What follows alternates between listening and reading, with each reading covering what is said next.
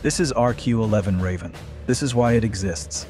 For Joint Special Operations personnel in the U.S. military, the RQ-11B Raven, small unmanned aircraft system, delivers real-time direct situational awareness and target intelligence.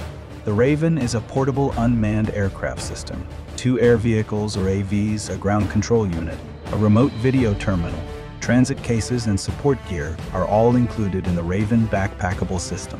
The Raven AV is piloted by two specially trained special operators. The AV can be operated manually or it can go on its own and follow a predetermined path. For nighttime missions, the Raven has an infrared camera and a color electro-optical camera.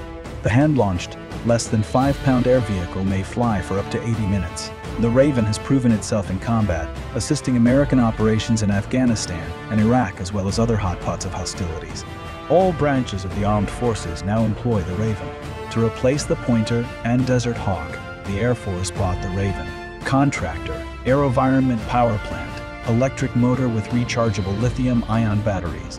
Wingspan, 4.5 feet 1.37 meters. Weight, 4.2 pounds or 1.9 kilograms. Weight ground control unit, 17 pounds 7.7 kilograms. Speed, 30 to 60 mile per hour 26 to 52 knots.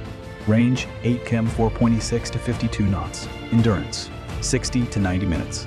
Altitude of operations 100 to 500 feet air ground level to 152 meters. System cost approximately $173,000. Payload high resolution day night camera and thermal imager. Date deployed 2004.